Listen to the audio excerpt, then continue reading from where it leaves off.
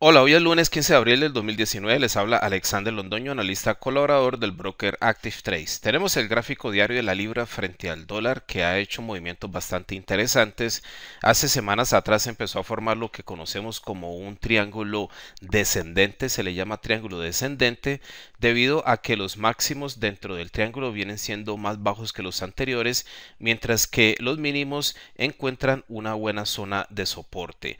De hecho, la zona de soporte se encuentra alrededor del 1.3000. Vemos que el precio ha tocado varias veces ese nivel sin confirmar una ruptura real por debajo de esa zona. Hacia arriba vemos que esta línea de tendencia bajista ha sostenido bien al precio.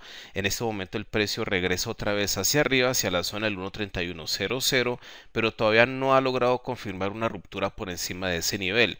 De confirmar una ruptura por encima de esta zona, el precio estaría saliendo de este triángulo descendente y es posible que venga a visitar el 1.3200, el 1.33 o incluso el 1.3400 a medio plazo. Por otro lado, rebotar de aquí hacia abajo, estaría entrando otra vez o se mantendría dentro de esta zona de congestión alrededor de la media móvil exponencial de 200 días y de 55 días. Estas dos medias móviles están muy horizontales y esto nos indica o nos confirma de que la paridad no tiene una tendencia clara.